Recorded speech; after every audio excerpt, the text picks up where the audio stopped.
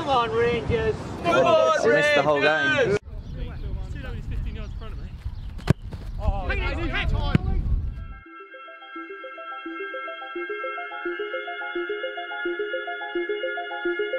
In the heart of the town of Dorking, fans of the Wanderers are on edge. A chaotic season that's seen Marc White's side decimated by injury, underperform in the league, exit the FA Cup and recover to lead a charge to the top of the National League South has taken yet another twist. Dorking have dropped points. Two defeats and two draws in their last five games allowed Maidstone to slip into the top spot. Despite taking the lead away to Ebbsfleet, Dorking were instantly pegged back by a neat finish from Rakish Bingham. The stalemates gave Maidstone the chance to extend their lead to four points. Dorking now need to win their remaining seven games and hope that the team on top fail to win at least two. And yet, spirits at Meadowbank remain high. The man in charge is adamant that he neither gets too high nor too low. And that outlook will serve his side well, for the players take him seriously for this is a man who can strike a moving ball in order to hit a crossbar from 50 yards.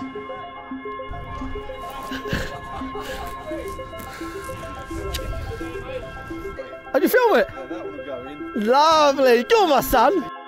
Meanwhile, Marc's assistant manager Dino allegedly performed a Trevor Sinclair level bicycle kick volley moments later, but we did not film that. What happened there then? What, what happened, Carl? Jim? Fucking Vicey, Vicey it, top bins. Wait, what Dino did? Someone's Bang, got bang. Top bins, mate. Right, boys, more professional, please. Fuck's sake. Sort of outfit is this? We didn't film Dino's exploits. We were too busy worrying about Marc and wondering why he's coughing so much. I've had a cold, Rich. Um, but I'm all right, mate. Everyone's got a cold, haven't they? But I'm back, like Lazarus. No, I'm, I'm um, feeling fine, mate. To be fair, organised. It uh, feels a long. I'm looking forward to this month because, um, or this period, because there's like almost two games a week now. There's, there's a couple of weekends we get double bankers. It's going to come thick and fast.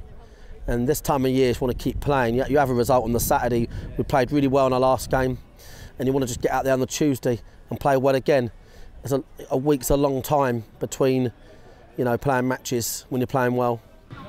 The results have been up and down over the last month or so. Like a horse draws. Yeah, but it doesn't feel like performances necessarily happen. I think that's fair to say. Yeah, I'm not really bothered about it. Like, if you look at it on paper, it don't look great to be fair, but the performances have been really good, and um, you know, I'm, I'm really pleased with that.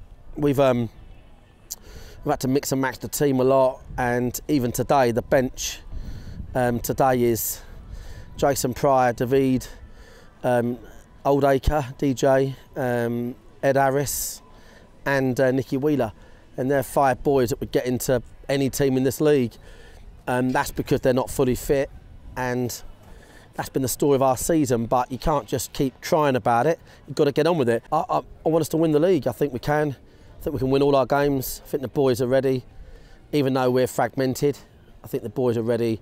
They play the best football in the league, and um, I just have a, a gut feeling we're going to have a strong finish. I don't think necessarily need to win all your matches to win the league. I think it's going to be twists and turns galore. Seven games is a long time for twists and turns. We hope it doesn't go to Hungerford away. There's a significant amount of teams that, that are coming here and changing how they're playing because I think you've got to look at it outside in. Outside in, they go, right, they've scored the most goals in the division. They're having a great season. They're dangerous. We know they've got a great squad. Do we really want to play this way? Should we just play, you know, 4 5 1, etc.? So, not quite sure how they'll play. Prepared for either. And the boys, I'll be honest, they look, they're looking good. Listen, if we get beat, we get beat. But these boys are looking good, to be honest. I'm really looking forward to this, this phase now that we've got, I'm talking to you boys in there as well. I'm looking forward to this phase, not least because I just feel like we're playing well and I feel like we need matches. And there's nothing more annoying than playing as what we did last week. And then you've got to go home and just, oh, it was great. And you want to play on the Sunday, you play on the Monday when you play that well. So what we can't afford to do is, we've had some great training sessions. We can't afford to um, stop thinking and stop thinking about how good we want to be today. I really want us to have a great week, and that means getting three points today. Let everything else take care of itself, but get three points today, and then just set that little target of winning all of our games because they're all with this squad and everybody in that room there. Every single game we've got is not just winnable; they're more than winnable, more than winnable. Okay. What this lot will do today is work really fucking hard. That is guaranteed. Guaranteed. And what we've got to do is just keep the ball away from them and just be really neat and tidy. Okay? So they normally play a diamond. Sorry, we haven't got a fucking full size number 10. But obviously, we haven't got enough money in this club to afford fucking good magnets.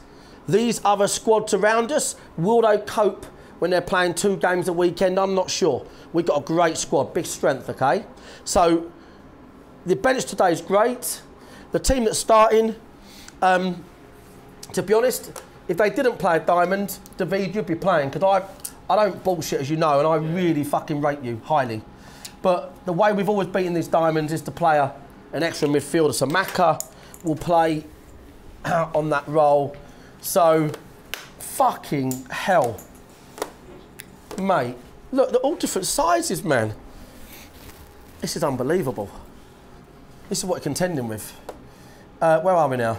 Moro with um, this kill, yeah? Josh and Wes, off the ball, we've got to pick up, we've got to mark. They're quite mobile. Because they're playing a diamond, they're quite used to covering big space of the ground. Because obviously every week they're probably one minute trying to get the ball in little wide areas, and next minute they're having to mark. So they're quite used to doing that. But you're the perfect players for that. Maka will play that one there. Alfie, really relying upon you with that press, okay? Even at training at one point. I don't think you start there. You probably just start slightly favouring the one you want to have it. We'll let you know when we see the team sheet, but probably the bloke on the left, okay? But realistically, even, even if you started there, and whichever one it gives it to, it's, it's nearer for you to press. Got to be really tidy, really tidy. But all, when all else fails, like at Ebbsfleet, you just put a foot in, you just run faster, and you give more, and you fucking sweat blood, right? And that we've got all of that in the locker. We've got the skill, and we've got the work rate. So, Moro, remember this. Key bits. Moro, fill in the gaps when we use those overloads, okay? Off the, when they've got the ball, man mark that guy, killed, okay? Used to find your men, do a job off the ball. On the ball, lose your men, get in the box. Maka, off the ball, the, the, the, the deep line one, on the ball, in the pockets, high, okay? Jimmy and Niall, when you get in good areas, take people fucking on, okay? Bobby and Isaac, leave them to take people on if you think that's a better bet than you overlapping. But if you're looking around thinking the striker's fucking passed me on here, it's a blatant two on one, let them know. Give them a big call. So now we're two on one, right? Just so we can have a little look, okay? Which is what Baz does brilliantly. Baz is really good at knowing when they've fucking not tracked him. And he just, that's when he gets in the fucking six yard box. All right, boys? I've been so impressed. So impressed. And I'm just looking forward. All I want today is us to play really well. Because I love watching us play. I genuinely, I went home last week thinking, I couldn't give a fuck we finished bottom of the league. But watching our team and us play the way we do is more satisfying than fucking anything. All right, lads? So these boys need to get fit out there. You lot have got to be ready. We'll do dead balls. All right, boys? Good luck.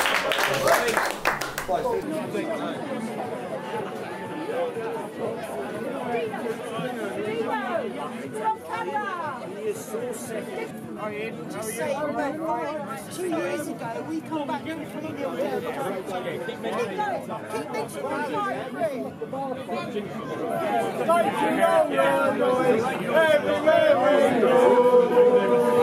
Right, what's your name and uh, what are you doing here today? Um, I'm Max and I do Slough home and away.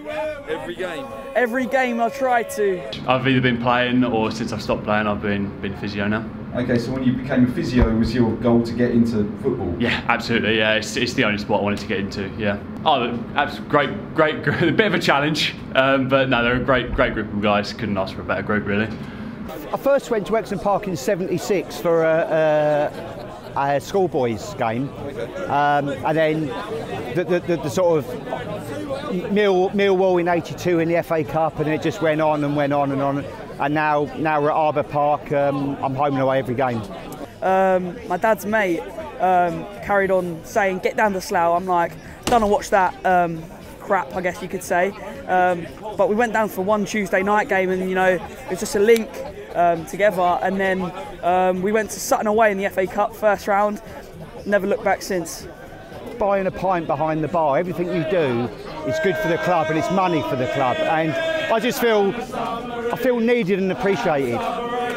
Um, I'm Slough and Arsenal, um, 50-50 I'd say. But yeah. Um, really, 50-50? Yeah, I, I'd say something like that because not well. Slough's great. Um, obviously, season ticket prices you nearly have to remortgage your house, but with Slough, it's, it's all good. Yeah, yeah. I followed Man United for 25, 30 years, all over Europe. Um, got got got fed up with it, disillusioned. 60 pounds, sit down, shut up. Slough's my family now. I love it. I'm appreciated. 30 years at United. You leave, no one gives a shit. Expecting from them, um, well, I think we've got the slight chance of a playoffs. Not looking very hopeful, but mate, um, but yeah, not very hopeful. But I, we always do get a good win against um, good opposition. Dorking half. Spoke to Marc during the week. Um, I reckon three-two today. Um, I think uh, Aaron Kuhl in the middle of the park is one of our best players. Big frizzy hair, can't can't miss him. I'd say he's our best player. Our best games have been playing some of the biggest teams. Right. Um, we beat Maidstone, we beat Ebbsfleet, um, we beat Havant. You know, we, we always seem to pull in big performances against these big teams, and we're here to do that again today. I, I think we've got quite a few injuries. Um, but Slough Town are good at losing to the teams down the bottom. We've done the double over Maidstone. We've already beaten Dorking. It wouldn't surprise me at all if we got a result here today. For where Slough were like 20, 30 years ago, obviously before my time, like we were, we were in, we were in the trouble. Like we were in trouble, but now we're an established National League South side, and we're doing pretty well. You're never sing that! Biggest train to stay in Europe! You'll never sing that! We are aware here at Bunch of Amateurs that we spend a fair amount of time talking to the away fans, and rarely do we catch up with the locals. So today, we decided to make sure Dorking's fans got a shot. Hi mate, my name's Danny. I'm the Vice Chairman, Parent Liaison Officer of the Youth Section. Hi, my name's Lorraine and I'm volunteering here today. And got into this as a fan. Dean, the assistant manager, my son and his son played together. So started running that team and it's kind of just like everyone, falling in line. I've been doing it since January. Okay, and um, you're a football fan? Uh, I am now, I wasn't. Um, both my partner and my son are season ticket holders here, so they're here, so I thought I'd come along too. You, you're so much closer to everything, aren't you? The management, the players, you know, the, the, the people around you, supporters as, as it's growing. Whereas I suppose in a professional club, you're just uh, you're just a pawn on the board who's not really involved, doesn't really have a voice. Whereas down here, you can have an opinion, and you know, a club like this, they let you get involved. So mainly I do the turnstiles, and then during the game, I just tend to walk around, make sure everyone's okay. Is it fun? Yeah, I love it. Really getting into it. Do you get any trouble? Uh, personally, no. It seems to me that the crowd here are remarkably well behaved for a They crowd. are, yeah. Everyone, it's a good laugh. We're gonna we're gonna do a proper job. Five 0 I'm gonna go for. I'm going big today. Five 0 I do. Uh, the most interesting part of my day is just meeting all different people. I love it. Uh, you know, from the old boys down to the, the youngsters that come in. I love it. Along with Max the Rascal Roscoe, there's another YouTube channel here today, Location Football, brought to you by Scott Lavelle and James Kirtland, aka Curly from Soccer AM.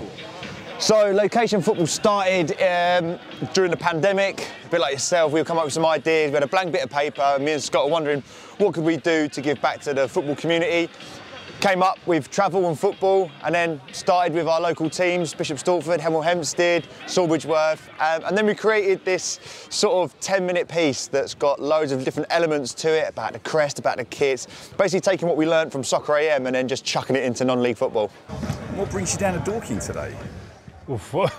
Well, your work really. I think the, Yeah, you. the amount of extra eyes that you've been able to put on this club is incredible, and I think you've created a real hype around it. So we didn't really have a choice. You've made it so that we want to become, we want to come down here because of yeah the hype you've been able to create around this club. But it is quite an inviting club, isn't it? Oh, and it's a it's nice incredible. place to be. It is exactly like look at the stadium around you here. It's like we've done a lot of Isthmian League and Southern League clubs, and the stadiums are great. And you come up to National League South, and there's just that Levels. little next step, and the characters as well, the people like Marc um, that you highlight brilliantly in your pieces, all the behind the scenes stuff. It's very engaging, and um, we, we just love it. So that's why we've come down here today to meet the people and uh, yeah, see some really good football. We try to tell the story around the game. Really, we know that there's many clubs. They're always they usually film their games. Basically, the, the irony of it all is the uh, the actual football for us is sort of like the last bit that we sort of forget about because we're doing everything else around the club. What happens on the pitch is just the, the, uh, it just happens, and we sort of. I say it's the least important, but it's not what we're here for. Exactly like all the goals and stuff. It's the people, it's the it's the story, it's the history, it's the, the ambition of the clubs, and sort of giving that feel that we want other people now to come down to, to Dorking and experience what we're experiencing today. It's the social element, and I think having social media around these days, well, particularly for us two with YouTube channels, but I think for clubs, it, it's just going to only get bigger and bigger. I think. Where?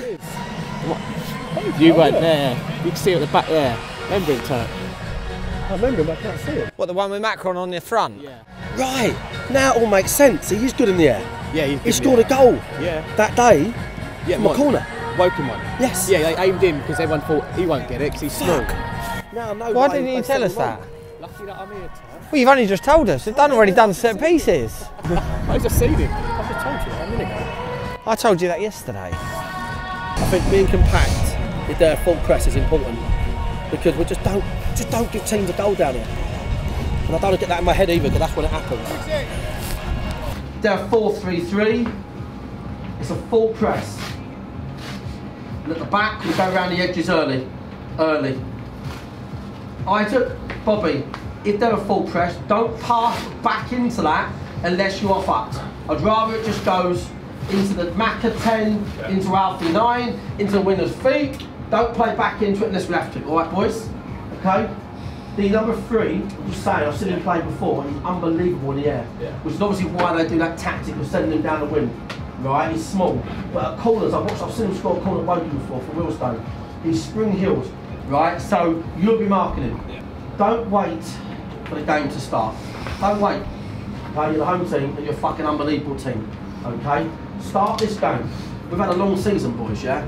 Had a long season. It's that relentless mindset, right? Don't be sucked into thinking, oh, we've got lots of ball, oh, we're going to win this game, we'll do our pieces.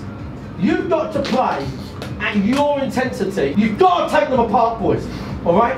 Final thing. I think if they are a full press, used to need to be conservative. Because this is all about not conceding. Okay? If they're a full press. So for me, the full press, Macca will be the magic man. He'll come in deep and get it down. When you're looking, you're looking for Macca. Right? He's going to come in. All right? That's what you're looking for. Okay, boys, so don't wait to start the game. You start the game, okay? Come on. Go, come on. You may have noticed by now that there are some issues with the audio. It seems somebody decided to play around with their microphone and it stopped working. Still, if ever there was a good day for this to happen, it's this day. For Marc is on a touchline ban, having had some choice words with former England manager Peter Taylor back when Welling visited Meadowbank. So one game back. Can you put that in words that you're going to let me use in six weeks' No, I had time? a long vacation with Peter Taylor, and um, so, so I've got a one match ban, which I thought was really. This is actually the best level of ban I've ever had. Just one touchline ban, so we can roll with that. So where does that mean you're standing today? Well, right next to the dugout, really, as near as I can. Not allowed to coach, but that's fine. So we'll be fine. You're not allowed to coach. I don't think so. Regrettably, we weren't there to hear Marc recommend a good bingo hall for his ageing counterpart, but it does mean Mr. White has to stand on the other side of the fence and say nothing, which he obviously does. He remains totally silent and does not get involved, and you cannot prove otherwise using our footage. Without wishing to get too self-referential here, another issue we face is Dorking's tendency to make stuff happen in the first minute of a match, before we can set up the GoPros. And once again that issue arises, as Jimmy Muitt tries his luck from the edge of the box, much to Dino's confusion. What the fuck happened there? Seconds. What happened there? I didn't even see that. Oh, that's he, he was sharp in the warm up, wasn't he? Jimmy was fucking sharp. 40 seconds. No! No! In his defence, the reason Dino missed the goal was down to his diligent attempts to decipher the opposition's formation, as he and coach Carl are wont to do at the start of every match. I haven't got any numbers yet. I've got one, two numbers. Yeah, what number's he? Seven? Is it four, two, three, one? Whatever formation Slough are playing, the high press is effective. Dorking aren't having much fun getting the ball out from the back, and without Marc shouting instructions from the sideline, the pressure is on Beardy and company to get the instructions across. Bobby! Simple! This way. Foot in! Touchline! No! Touchline! Dorking are certainly patient, almost as patient as John the Bible is when it comes to taking calls from Dino to help him figure out the opposition system. It's like four, two, three, one. Isaac, open your body. Something Marc is adamant about is that his players don't feign injury, which might explain why, on this odd occasion, Wes Fogden's performance elicits memories of Julian Sands in arachnophobia. It's fair to say our references might need updating. Fogden inexplicably recovers and has a great view of Josh Taylor's latest chaos causing long throw.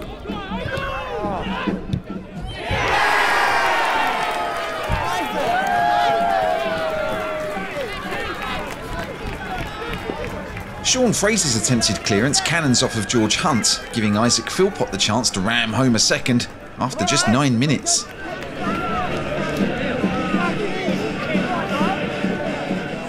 Hey, fucking different class, you. Keep it going. The switch from side to side is, is on all the time, yeah? Despite the bad start, Slough are not averse to going forwards. Aaron Kuhl sells Bobby Joe a dummy like he's a mothercare salesman, and Curtis Cumberbatch eventually rockets a shot on Dan Lincoln's goal, or technically, the stand behind Dan Lincoln's goal. Just as they give themselves something to believe in, Slough shoot themselves in the foot with far better accuracy than when they're shooting at goal.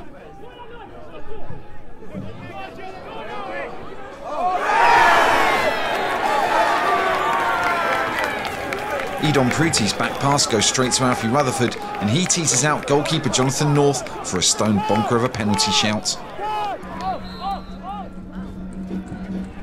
my god. Luke Moore has a chance to put the game to bed on the half hour mark, but he drags his penalty wide of the post. We don't score penalties, we might as well give the ball back. That's effectively what they do. Lee Togwell says thanks and drives a shot on goal that we're quite sure Dan Lincoln got a glove to. Minutes before half time, Jimmy Mewitz has the chance to end the half just as he started it. Get up! Get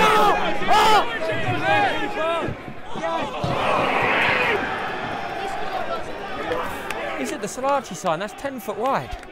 There's now just enough time left for Slough to create their best opening of the half. Well done, Dan. Second! That's him.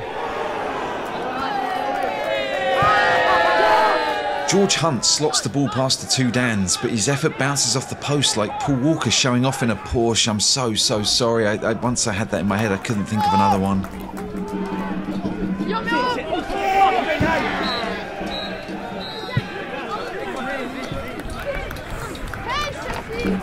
Right, good stuff. Um, I don't want to hear any little bitching at the back. Okay, I'll put myself in goal. Or I'll put myself in centre half. Because these things manifest. They manifest the wrong way. When something's done, do what it like men, say, do me a favour, next time can you do that? And then we all take it and we move on. We don't hold on to baggage, okay? I don't want to hear that shit. I actually think it'd be unfair for me to pick holes in anything. The only things they've done I mean, fuck me, in 45 minutes, they're going to get a spare man on the ball at some point. I want you to understand, we've got to take care of business here. We'll just tick this one off. Okay, this is just about being really strong. I think we defended their dead balls brilliantly. They're trying to get three on the ball the whole time, aren't they? All the time. Your second phase defending more has been fucking brilliant. Let's hear you on a massive fucking calls at times when we can. Okay? Now bringing on uh, Harris the striker, Ben Harris, number nine. so, there's a chance he might be reverting to a diamond. Okay, because I don't think the other lad up top's doing so bad. Right? So, but the bottom line is they're bringing on a striker. So that means they're going to be either 4 4 2, but it'll probably be a 4 diamond 2. So that's when we do everything we said before the game. Yeah, that's what we do. So we've got to keep at it. It's a really good first half, boys. They're a full press, it's a full press game. We're winning the battles, which is why we're on the ball. So very, very good. Okay, very, very good. Keep passing forward and don't forget the communication. If they do have runners at times, make sure you're opening out, you know, you're doing everything right, okay? Right, another half like that. We're going to our fans now. One more goal. This game is as dead, right, as the door now. One goal, okay? And we look so good in the last third. So if you boys at the back can just keep defending first, put up that kill when you run up the touchline and he's dummied, ball's there. Win the ball. Defend first at the back like you have. Love to see you shoving them about, love it. Defend first, right? The midfielders are winning the seconds. They're doing that for you. And when we get it down, get it out wide, get it in the space. And we're going to win the game. We'll kill the game off, okay? Right, same aggression. Go on. Management quick. Um, so there's only going to be there's only natural changes in this game. Um, I don't want to I don't want to go. Um, you know, if Moore scores that we go to a back four. You know, just and then we give ourselves an overload. So if they score one goal, then we'll be going to a back four, and we'll just have to suck it up. We could have won two games by now. That's the bottom line with the chances we've had. We're going to get loads more chances because also, you know, for me, the balance of possession means they're going to be blowing the second half. They're going to be. It's one of them games where I can see them. They're going to start to blow. So no, it's all really good to be fair, but just make sure being with the, from the side there, get them set, then relax them, then calm them for five. Um, one point, they're looking over their shoulders and trying to run for going. It's a full press game. Jimmy is full back, Niall full back. You know, it's a full press game. Do your jobs right, we're good to go. Thus far, it's been a rather uninspired performance from a Slough team in a rather uninspired kit. They should have gone to fcfootballkit.com, and they just happen to be our new sponsor. Check them out in the description if you're interested in getting a bespoke, fully sublimated kit that will save you a lot of time and money and hassle. Forgive us for the shameless plug, but they're great guys with a really good products that we really do recommend. So that's it for now. That's it. We won't do any more plugging.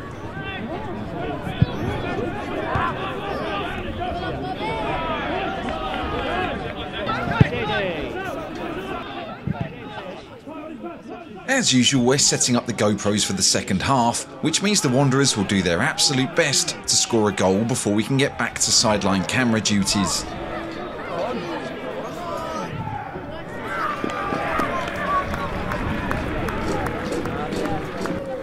And that is exactly why camera B was left pointing in the direction of the Slough goal.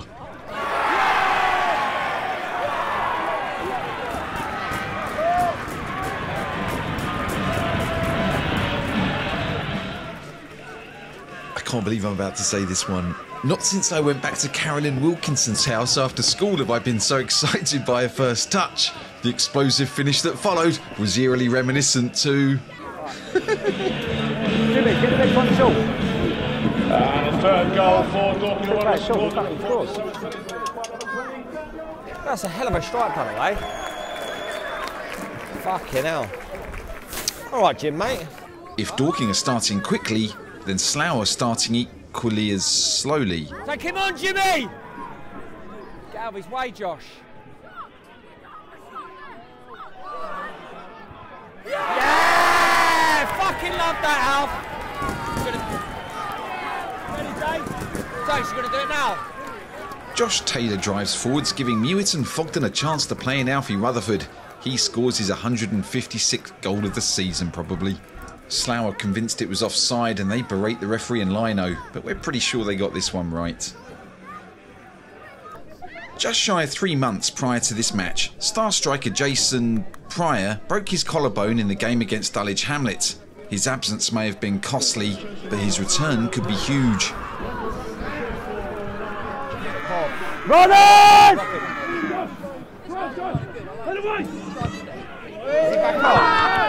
Josh Taylor! Bob! Bob! Bob! Stop overlapping! Bobby! Just stop overlapping. Bob, stop overlapping. Just support him. Right. Well done. No, that's overlapping. To play on the other. Get, get in now, mate. Get in. Oh, oh!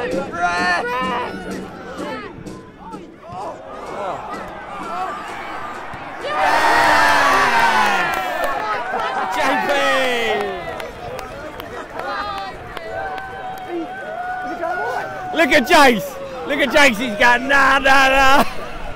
He punts it into the goal. James McShane's dipping drive is spilled by Jonathan North, and thus it took just two minutes for Dorking's target man to find the net like a latter day David Nugent. Fifth goal for Dorking was in the 55th minute, scored by Jason Prior. Now, we've thought long and hard about how to deal with the subsequent 35 minutes. Making you sit through what turned into a remarkably boring afternoon watching people do very little would be akin to spending an evening with Barry Glendenning. What we can do is show you this brief compilation of half chances, where Wes Fogden hits the bar from a deflected volley, Niall McManus has a shot blocked, and a rusty Jason Prior can't quite get on the end of a cross. Oh, what a ball that is, by the way. I'd have, I'd have bited that.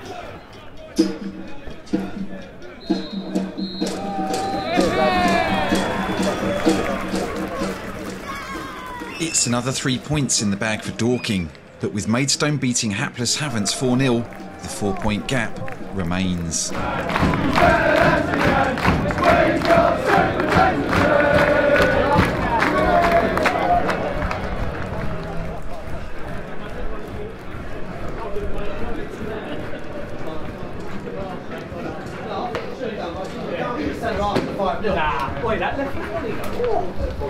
We don't know who it is, we just know it's Josh Taylor. I don't fucking know Josh Taylor. He would have played well. For 35 minutes, we were 5 0 up to 35 to play. So I think if you're being if you're being realistic and you're being a winner, you'd be a little bit disappointed with 35 and 5 to play. To be quite honest, okay, especially when goal difference. You know, like when you have those situations, you, I'm not I'm not saying I don't think you weren't chasing goals. I thought decision making went a little bit 5 0 decision making, carrying the ball, not passing it, stuff like that. Yeah, but you know, if you're at Hungerford last day and you've got the draw and the win, that's a massive difference. And if you've got the goal difference, that is what you'll have. Listen, I think the story of that game is, we didn't give him a sniff. I thought Dan, the back three were excellent, and Lincoln. I think most of all, it was a full press game. And when it's a full press game, you sometimes just need your players to be better than theirs. And the midfield three ran the game first half.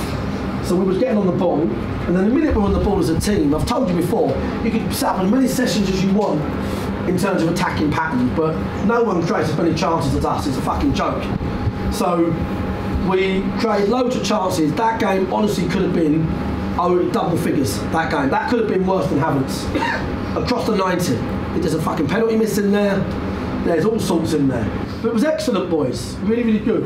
But we've, got, we've still got to keep working our. See, I told you when we played Hampton and uh, what's the other lot we played last week? Ebbsfleet. For me, it, you're never wrong when you judge on performances. You know, if you see the performances there, you know you'll go and get one of those wins like that today. You're just too good, just too good.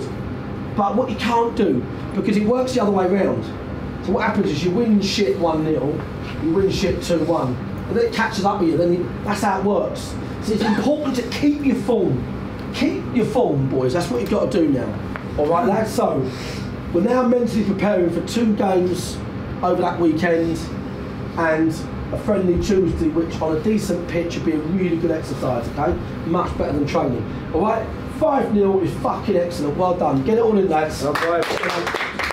Yeah, 5 0 up, 30, 35 to play will be the, the, the negative out of today, really. But we kind of made our own choices, though. We took off players that we thought had a few little knocks they were carrying. Josh Taylor's had a bit of a, a knee that's been swelling up a little bit. So we made that choice. But yeah, we, we, we, we sort of played it a little bit like we're 5 0 up. Can I score a goal as opposed to can we score a goal? And You know, so so that'll be the only thing. But the minute you start bemoaning five nils is the minute that things go against you.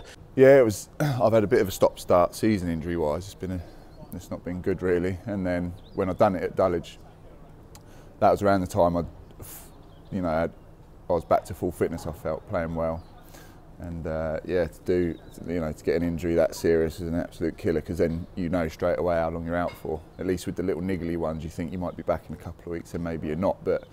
You know, it was just a bit of a killer, and then you know when you get back, you've then got to do all the fitness work and stuff. So, but you know, it's part of the job, isn't it? I was at Worthing.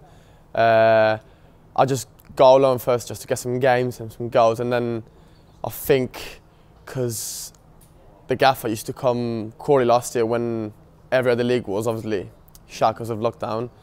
He used to come as a Crawley and he said to me like after a few games with Worthing, would you want to come and play for us? Like we're in a title race, obviously. I, I looked at the league, which to be fair, I was looking before as well. I always keep an eye on every league.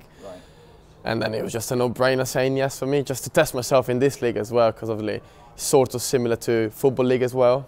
There's some tough games. Um, there's some tough games to play, and it's, all, it's obviously all about how you react to it, it, that time of the year. How do you react if things go against you? Because if one, if there's one result reversal, then if you've got the goal difference, technically you, you know, you've got the draw and a, and a win to win the win the division. If that makes sense, uh, you know. So, but that listen. Equally, Maidstone might be five points clear with two to play or one to play. We might be. You just don't know. Dartford, Ebbsfleet, and had a great day today, but they might come back into it. I think you can only ever do your own thing, and then let the rest take care of itself. I was playing in, uh, football in Italy and Switzerland, but I I didn't really get given much value as a player. I, I got told I was too small and not strong enough. And, uh, and then, then all of a sudden I just grew and uh, obviously my first aim was to learn English because obviously it's an international language which I could use for any job in the future and stuff like that. But obviously my main focus was always football.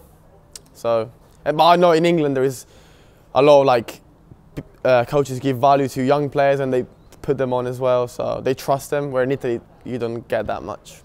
They play a distinctive formation, mostly a diamond, but they uh, much similar to a lot of other teams. They changed it um, to just a more defensive shape, really, and uh, competed man for man. They went to a diamond uh, the latter part of the game and put on some boys that ran about a lot more and, and looked a bit better. To be fair, um, they're a club not in the the managers there. Really, uh, Neil and John. No disrespect, them and their fans really hold up that club.